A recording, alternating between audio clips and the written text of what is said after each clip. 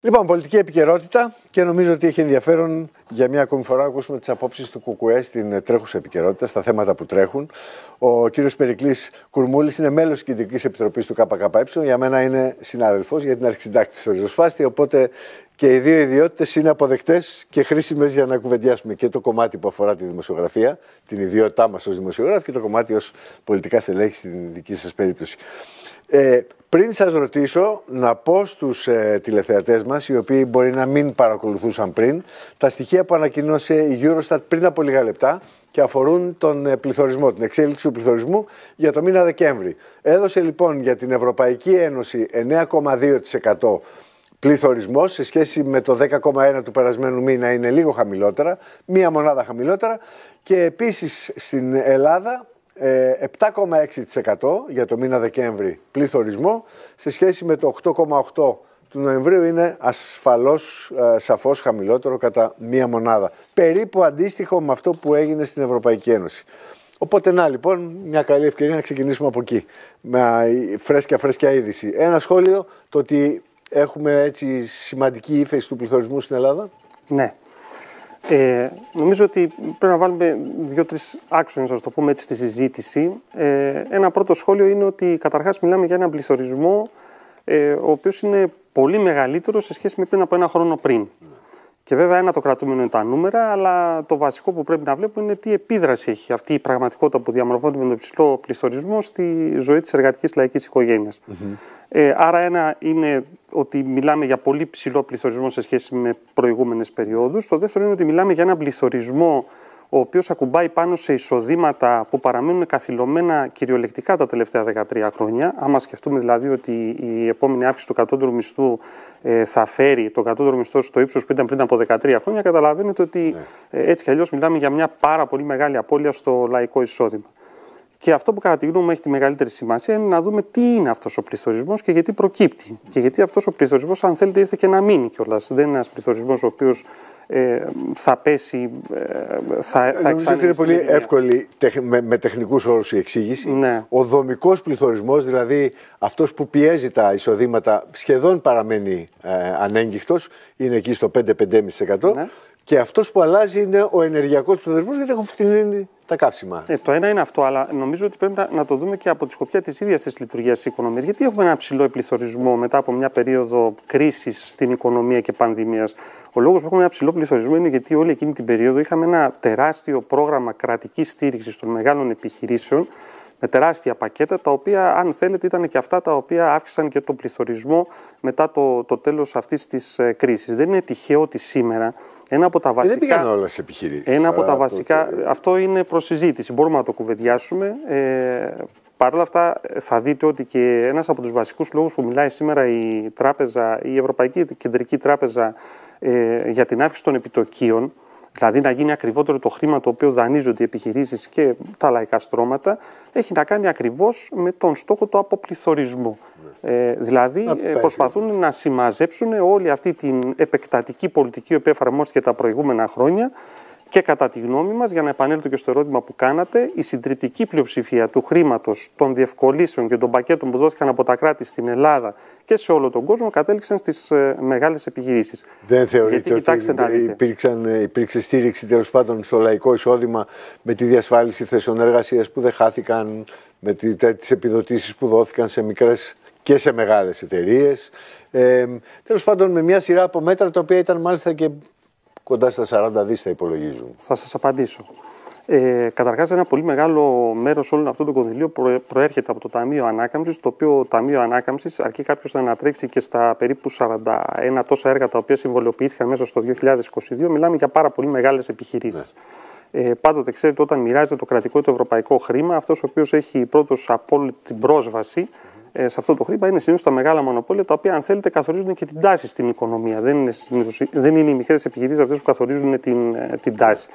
Ε, το δεύτερο είναι ότι αρκεί να δει κανείς σε ποια κατάσταση είναι σήμερα οι μικρομεσαίοι βιοπαλαιστές ΕΒΕ για να καταλάβει το ποιος ωφελήθηκε από αυτή την ιστορία. Και το τρίτο, επειδή η πραγματικότητα είναι αδίστακτος κριτής, ε, το γεγονός ότι σήμερα ένα λαϊκό νοικοκυριό αναγκάζεται να μειώσει κατά 50% τις δαπάνες στην αγορά τροφίμων ε, το γεγονός ότι έχει διευρυθεί ενεργειακή φτώχεια, Ε, το γεγονός ότι αυτό που λέγαμε και προηγουμένως, ότι τα εισοδήματα παραμένουν στην πραγματικότητα καθυλωμένα, ε, δείχνει και πού πραγματικά πήγαν όλα αυτά τα χρήματα ναι. την περίοδο την οποία δοθήκαν. ε, Πάντως, αν θέλετε για να το ολοκληρώσω, Παρακαλώ. ένα συμπέρασμα το οποίο βγαίνει είναι ότι όπως ακριβώς την περίοδο των μνημονίων ε, ο κόσμος, ο λαός ε, πλήρωσε με εμπατηρές περικοπές σε κρατικές δαπάνες, με μείωση των μισθών, την περιοριστική διαχείριση της κρίσης εκείνη την περίοδο. Με τον ίδιο τρόπο φαίνεται ότι τώρα, εξαιτίας και του πληθωρισμού, ότι πληρώνει ε, τη σημερινή κατάσταση που θεωρούμε ότι είμαστε σε μια φάση ανεμικής ναι. ανάκαψης αυτή την περίοδο, αν και μπροστά υπάρχουν φαινόμενα κρίσης, προβλέψεις για κρίση δηλαδή, πληρώνει την επεκτατική πολιτική. Αντιλαμβάνομαι λοιπόν την ε, κριτική και τη σέβομαι. Να δούμε όμως απέναντι στην κριτική τι μέτρα προτείνει το ΚΚΕ ώστε να μην ε, βιώνουμε αυτά τα οποία περιγράφεται, αλλά να είναι μια καλύτερη κατάσταση, κυρίως για το λαϊκό εισόδημα που δίνει έμφαση το ΚΚΕ. Εμείς ως Κομμουνιστικό Κόμμα στηρίζουμε καταρχάς τις διεκδικήσεις ε, μεγάλων συνδικάτων, εκατοντάδων συνδικάτων και εργαζόμενων, χιλιάδων εργαζόμενων σε όλη τη χώρα, οι οποίοι διεκδικούν αυτή τη στιγμή να καταργηθεί ο ΦΠΑ ε, στα αγαθά πρώτης ανάγκης, να καταργηθεί ο φόρος, ο ειδικός φόρος στα καύσιμα, να υπάρξει πλαφόν στις τιμές και μείωση στις τιμές των, των προϊόντων. Ναι. Ε, και βέβαια ε, στηρίζουμε τις διεκδικήσεις στου αγώνες τους για αυξήσεις τους μισθούς κτλ.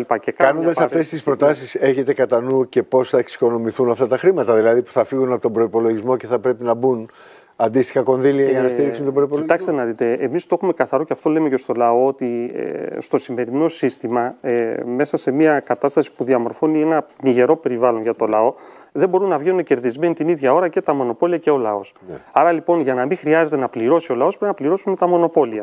Είναι καθαρό αυτό. Οπότε... Και ακριβώς εκεί πέρα προσανατολίζουμε και τους αγώνες μας. Εμείς λοιπόν λέμε ότι όλα αυτά είναι μέτρα τα οποία μπορούν να δώσουν σήμερα την ελάχιστη ανακούφιση στο λαό. Αύξηση της φορολογίας επιχειρήσεις; Και διαφωνούμε, βεβαίως, και διαφωνούμε με όλα τα υπόλοιπα κόμματα, τα οποία, αν θέλετε, απέρριψαν και τις τροπολογίες που έχει καταθέσει το Κομμουνιστικό Κόμμα σε αυτή την κατεύθυνση στη Βουλή και μάλιστα τις απέρριψαν να συζητηθεί να μην γίνει καν συζήτηση δηλαδή στη Βουλή πάνω στο θέμα του τι μπορεί σήμερα να αποτελέσει η απάντηση για τα λαϊκά στρώματα. Εμείς λέμε ότι ε, ο λαός, οι εργαζόμενοι πρέπει να οργανώσουν την πάλη τους και να ενισχύσουν σε αυτή την πάλη τους και το Κομμουνιστικό Κόμμα, γιατί είναι ε, η, η, μοναδική συνθήκη που μπορεί να δώσει σήμερα διέξοδο, που μπορεί σήμερα να τους δώσει ανάσες, αλλά κυρίως μπορεί να διαμορφώσει προποθέσει ε, για πιο ριζικές αλλαγές που απαντάνε σήμερα στα μεγάλα λαϊκά προβλήματα, στα οποία όπως καταλαβαίνετε όλα τα υπόλοιπα κόμματα με την πολιτική τους τα ανακυκλώνουν να, και τα διευρύνουν. Πρακτικά, ο ειδικός φόρος κατανάλωσης στα καύσιμα είναι γύρω στα 5 δισεκατομμύρια. Ναι. Ο ΦΠΑ, συνολικά ο ΦΠΑ, έτσι, όχι μόνο στα τρόφιμα, έχει στα βασικά είδη πρώτης ανάγκης, είναι γύρω στα 17 δισεκατομμύρια. Αμέσως αμέσως περνάμε τα 20 δις. Ναι. Ό,τι φύγει από εκεί πρέπει να αναπληρωθεί. Δηλαδή, αν κόψουμε τον ειδικό φόρο κατανάλωσης, πρέπει να βρούμε 4 δις να βάλουμε μέσα στο καλάθι. Γιατί αν δεν βάλουμε 4 δις, θα, κάτι θα λείψει από τον προπολογισμό. Δεν ξέρω πού. Ναι. Ε, εκεί θέλω να δω ποια είναι η λογική προσέγγισης του ΚΚΕ. Ε, κοιτάξτε να δείτε. Σήμερα το Ταμείο Ανάκαψη είναι 31 δισεκατομμύρια ευρώ. Ναι. Τα 31 δισεκατομμύρια ευρώ είναι χρήματα τα οποία θα καταλήξουν εξ ολοκλήρου στις τσέπες των, ε, των επιχειρήσεων. Ε, ο κρατικός προπολογισμό, ξέρετε ότι διαμορφώνεται μέσα από έμεσους και άμεσους φόρους, τους οποίους κατά 95% τους πληρώνουν τα λαϊκά στρώματα. Άρα λοιπόν, μην ψάχνουμε να δούμε σήμερα πού γυρνάει η παλάτσα της σημερινής πολιτικής και της σημερινής κυβέρνησης ε, και της προηγούμενης. Είναι μια παλάτσα η οποία γυρνάει προς την πλευρά των μονοπωλίων με τεράστια στήριξη ε, της ε, κερδοφορίας τους. Χαρακτηριστικό παράδειγμα είναι ακόμα και τώρα που μιλάμε για τα φάρμακα για τις τεράστιες ελλείψεις στην αγορά, ότι το μέτρο το οποίο προκρίνει η κυβέρνηση είναι να αυξηθούν οι τιμές. Ναι. Δηλαδή, ακόμα και σε ένα ζήτημα πρώτης ανάγκης, σε ένα ζήτημα ε, το οποίο απασχολεί χιλιάδες λαϊκά νοικοκυριά και κυρίως νοικοκυριά και με μικρά παιδιά. Γιατί η ελλείψη αυτή την περίοδο, ξέρετε ότι είναι σε φάρμακα τα οποία ε, αφορούν κυρίως παιδικές ασθένειες, ιώσεις κτλ. Ε, η λύση που προτείνεται ακόμα και σε αυτό είναι να γίνει ακριβότερο το φάρμακο για το λαό. Εμείς λοιπόν λέμε ότι το πραγματικό δίλημα που υπάρχει σήμερα και αυτό προκύπτει από οποιαδήποτε πτυχή της καθημερινότητας της ζωής του λαού είναι ε, ανοχή σε μια τέτοια κατάσταση που από μέρα σε μέρα τον φέρνει σε μια όλο και πιο χειρότερη ναι, θέση. Αλλά από την άλλη, ανεξάρτητα α, με το ποιο κόμμα ότι κυβερνάει σήμερα. Αντιμέτωποι με τον εκβιασμό των φαρμακευτικών. Δεν συμβαίνει κάτι τέτοιο, τουλάχιστον δεν ξέρω να συμβαίνει, αλλά λέω ότι μεθαύριο λέει το Κουκουέ τα φάρμακα καθυλώνουν τη τιμή τους και τα βασικά φάρμακα θα έχουν και μια διατίμηση που θα είναι προσιτή στο λαό. Και λένε οι φαρμακοβιομήχανοι ότι εμείς δεν παίζουμε με αυτούς τους όρους και δημιουργούμε στην αγορά θέματα, πώς το λένε, τροφοδοσίας. Μα περιγράφεται μια κατάσταση. Τι κάνει κανείς; περιγράφεται μια κατάσταση που υπάρχει σήμερα. Και προσέξτε να δείτε το, γιατί το βάζετε πολύ σωστά το θέμα. Τι προκύπτει από την ιστορία του φαρμάκου; προκύπτει ότι το κέρδος των φαρμακοβιομηχανιών, των φαρμακοποθηκών και η ανάγκη του λαού σε δωρεάν φάρμακο και επαρκές φάρμακο δεν μπορούν να συμβιβαστούν. Αυτό προκύπτει. Ναι, λέω και τι κάνει κανείς τώρα. Εδώ ακριβώς θα, θα φτάσουμε και, στη, και στην απάντηση. Ε, και κοιτάξτε να δείτε, δεν μιλάμε και σε μια συνθήκη που τέλος πάντων μιλάμε για τίποτα ε, φτωχαδάκια, ας πούμε, τα οποία προσπαθούν να βγάλουν ένα μεροκάματο στην αγορά του φαρμάκου. Ε, άμα πάρετε και δείτε τα κέρδη της φαρμακοβιομηχανίας τα προηγούμενα χρόνια, θα διαπιστώσετε ότι και οι τζίροι και τα κέρδη τους είναι πολύ μεγάλα. Θα διαπιστώσετε επίσης ότι σε αυτό θα συμφωνήσουμε όλοι ότι μιλάμε για ένα από τους πιο δυναμικούς κλάδους της αγοράς και μιλάμε και για έναν κλάδο ο οποίος με κρατική στήριξη ετοιμάζεται να επενδύσει το 2023 περίπου 1,2 δις ευρώ σε καινούργιες φαρμακοβιομηχανίες κτλ. Άρα λοιπόν, τι είναι αυτό που στερεί σήμερα την αγορά από το φάρμακο που έχει ανάγκη ο λαός, είναι το κυνήγι του μεγαλύτερου κέρδους. Γι' αυτό έχουμε τις παράλληλες εξαγωγές. Ναι, αλλά δεν απαντάτε. Και γι' αυτό έχουμε, θα σας απαντήσω. Και γι' αυτό έχουμε και την ε, εξαγωγή φαρμάκων σε αγορές ναι. με υψηλότερες τιμές. Πάμε λοιπόν τώρα στο τι προτείνει το ΚΚΕ. Εμείς λοιπόν λέμε ότι πρώτον, ε, αυτό που πρέπει να διεκδικήσει ο λαός, επειδή το φάρμακο το χρειάζεται σήμερα, είναι μια άμεση ανάγκη, αυτό που πρέπει να διεκδικήσει ο λαός είναι να απαγορευτούν εξ ολοκλήρου οι παράλληλες εξαγωγές. Όλα τα φάρμακα τα οποία παράγονται και πρέπει να κατευθυνθούν στην εγχώρια αγορά, πρέπει να κατευθύνονται στην εγχώρια αγορά. Και αυτό πρέπει να γίνει με ευθύνη του κράτους. Από εκεί και πέρα, ε, ήρθε η ώρα να μπει στο τραπέζι η πραγματική συζήτηση. Αν δηλαδή αυτό το κράτος, η σημερινή εξουσία, το σημερινό σύστημα μπορεί να εξασφαλίσει δωρεάν φάρμακο και επαρκές ναι. για το λαό. Εμείς πιστεύουμε ότι δεν μπορεί. Ναι. Και ότι γι' αυτό ακριβώς λέμε ότι πρέπει να μπει στο στόχαστρο η πολιτική του κέρδους που εμπορευματοποιεί τα πάντα. Και δεύτερον, ότι πρέπει ο λαός να δει αυτό που λέμε εμείς την πραγματική διέξοδο. Η πραγματική διέξοδο λοιπόν είναι ένα κράτος, ένα κράτος του λαού, το οποίο έχοντας κοινωνικοποιήσει τα βασικά μέσα παραγωγής και τη φαρμακοβιομηχανία ναι. στην προκειμένη περίπτωση, θα μπορεί να παράγει δωρεάν φάρμακο και οι εισαγωγές οι οποίες θα κάνει να μπορούν να κατευθύνονται απευθείας στην, στην αγορά. Βασικά και θέματα που παίζουν στην επικαιρότητα και γι' αυτό βάλουμε στην κουβέντα την οικονομία, τον πληθωρισμό, την ακρίβεια στην αγορά και τις ελλείψεις στο φάρμακο. Ε, νομίζω καλύψαμε αυτά τα δύο. Πάμε να καλύψουμε λίγο και το θέμα τώρα της προεκλογικής περίοδου και των ε, προσδοκιών στην εκλογική αναμέτρηση. Καταρχήν, είναι απολύτως ξεκάθαρο ότι το ΚΚΕ δεν κουβεντιάζει τη συμμετοχή του σε μια συλλογική διακυβέρνηση μαζί με τον ΣΥΡΙΖΑ, το ΜΕΡΑ25, το ΠΑΣΟΚ, αν του προταθεί κάτι τέτοιο.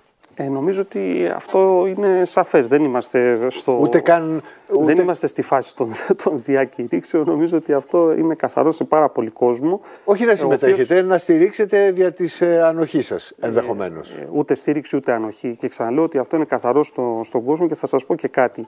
Ε, ότι το μεγαλύτερο τμήμα του κόσμου το οποίο έχει στημένο αυτή στο Κομμουνιστικό Κόμμα ε, καταλαβαίνει και την αποδέχεται αυτή του, τη, τη στάση. Και αν θέλετε, η στάση του κόμματος και τα προηγούμενα χρόνια που δόθηκε μια μάχη που δόθηκε σε πολύ δύσκολες συνθήκες και με πολύ μεγάλες πιέσεις. Ε, το γεγονός ότι το, το κόμμα μας κράτησε αυτή τη στάση με συνέπεια και την εξήγησε ε, και στους πιο κοντινούς ψηφοφόρους του και στους πιο κοντινούς φίλους του κόμματος αλλά και σε έναν ευρύτερο κόσμο είναι ένας από τους λόγους σήμερα ε, που συναντάμε μια πολύ μεγαλύτερη αποδοχή στις θέσεις και στον τρόπο που αντιμετωπίζουν το Κομμουνιστικό Κόμμα. Γιατί ξέρετε δεν το βλέπουν μόνο από τη σκοπιά της συνέπειας αλλά και από τη σκοπιά του πόσο πίσω θα πήγαινε το κίνημα και το λαό μια συμμετοχή του Κομμουνιστικού Κόμματος σε μια κυβέρνηση η οποία αποδείχθηκε όπως ακριβώς προειδοποιούσαμε την περίοδο εκείνη του ΣΥΡΙΖΑ μια βαθιά αντιλαϊκή κυβέρνηση. Λύστε μου μια απορία την οποία πάντα την έχω. Οι δύο μεγάλες δεξαμενές του ΚΚΕ είναι διαμετρικά αντίθετες. Η μία μεγάλη δεξαμενή είναι η νεολαία τα νέα παιδιά. Ναι. Δηλαδή από τις ηλικίες, τις εφηβικές ηλικίες και μετά. Ναι. Και η δεύτερη μεγάλη δεξαμενή είναι κάποιοι άνθρωποι οι οποίοι ας τους ονομάσουμε τρίτης ηλικίας. Ηλικιωμένοι. Ε, αλλά μου κάνει εντύπωση γιατί είναι τελείως διαφορετικά κοινά, τα οποία ουσιαστικά είναι τα κοινά που αντλεί τη δύναμή του το κουκουέ. Το βλέπω και στου, ναι. στις κινητοποίησεις του ΠΑΜΕ. Είναι νέος κόσμος, νέοι άνθρωποι ή στις κινητοποίησεις των συνταξιούχων που επίσης ε, είναι ιδιαίτερα μαζικό το κίνημα του ΚΚΕ, που επίσης είναι ευάριθμε, δηλαδή είναι πολύ μεγάλες διαδηλώσεις. Ναι. Λύστε μου διαφορά. Πώς υπάρχουν δύο οι δεξαμενές σε τόσο διαφορετικά κοινά; Ναι. Ε, Καταρχάς, είναι θετικό ότι η επιρροή του κόμματος ε, στην νεολαία είναι όντως ε, μεγάλη. Ε, δηλαδή, υπάρχει ένα μεγάλο κομμάτι της νεολαίας το οποίο αντιμετωπίζει με με πολύ σκεπτικισμό και με πολύ, ας το πούμε έτσι, καλή διάθεση αυτά τα οποία ε, λέει σήμερα το κόμμα, προβληματίζεται. Είμαστε και σε μια εποχή που, αν θέλετε, ευνοεί και τους προβληματισμούς. Ε, γιατί τα επαναλαμβανόμενα αδιέξοδα αυτού του συστήματος που ζούμε, κυρίως στη νέα γενιά, δημιουργούν ένα ναι. παραπάνω ψάξιμο, μια παραπάνω αναζήτηση κτλ. Παρ' όλα αυτά, θα σας πω ότι και στις παραγωγικές ηλικίες, οι οποίες είναι οι ηλικίες των εργαζόμενων, η επιρροή ή τουλάχιστον αυτό το οποίο ε, εμείς εισπράττουμε και φαίνεται και στις ναι. διεργασίες μέσα στο εργατικό συνδικαλιστικό ε, κίνημα, υπάρχει ένα πολύ μεγάλο ε, κομμάτι του κόσμου, εργαζόμενοι και στις παραγωγικές ηλικίες, οι οποίες ανεξάρτητα με το αν τελικά φτάνει να στηρίξει το κόμμα με οποιονδήποτε τρόπο, είναι ένα ε, τμήμα ναι. του λαού των εργαζόμενων, ναι. το οποίο ε, ακούει με πολύ προσοχή ναι. ε, αυτά που λέμε. Κοιτάξτε να δείτε, εμείς απευθυνόμαστε στον κόσμο με όρους ε, κοινωνικούς ταξικούς. Δηλαδή, ε, απευθυνόμαστε στον, στην εργατική τάξη, απευθυνόμαστε στην νεολαία των λαϊκών στρωμάτων, απευθυνόμαστε στους βιοπαλαιστές, ευαία αγρότες κτλ. Αυτό είναι το, το ακροατήριο το οποίο, αν θέλετε, απευθύνεται το, το κόμμα και προεκλογικά ε, σε αυτό ακριβώς το, ναι. τον κόσμο βάζουμε το πραγματικό δίλημα. Και το πραγματικό δίλημα, θα, θα μου επιτρέψετε να πω, είναι εάν θα δεχτεί ο λαός να συνεχίζεται μια κατάσταση σαν αυτή που, δίνει, σαν αυτή που υπάρχει σήμερα, σαν αυτή που τον βαραίνει σήμερα. Είτε υπάρχει την επόμενη μέρα μια νέα δημοκρατία στην κυβέρνηση ή ο ΣΥΡΙΖΑ στην κυβέρνηση ή θα βγει μέσα από αυτή την εκλογή μάχη με ένα πολύ πιο ισχυρό κομμουνιστικό κόμμα το μόνο κόμμα το οποίο, αν θέλετε, μπορεί να εγγυηθεί αυτό που λέμε τη λαϊκή αντιπολίτευση μέσα στη Βουλή, αλλά να παίξει και ένα καθοριστικό πρωτοπόρο ρόλο στην οργάνωση του εργατικού λαϊκού κινήματος έξω από τη Βουλή. Λοιπόν, θερμά, θερμά ευχαριστώ. Να είστε καλά, εγώ. Χάρηκα πάρα πολύ που τα είπαμε και σαν συνάδελφοι, αλλά και με την πολιτική σας ιδιότητα.